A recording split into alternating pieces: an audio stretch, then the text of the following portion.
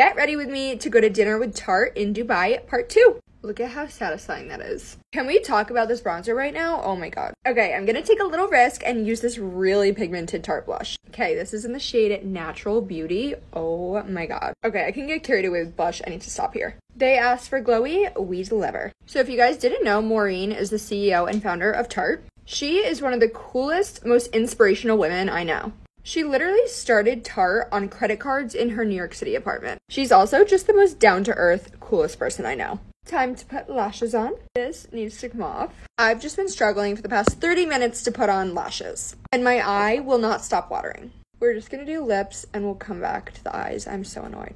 My number one pet peeve is when my eye waters. Something about it just irks me beyond belief. Here's the final glam, you guys. What do you think? Love ya!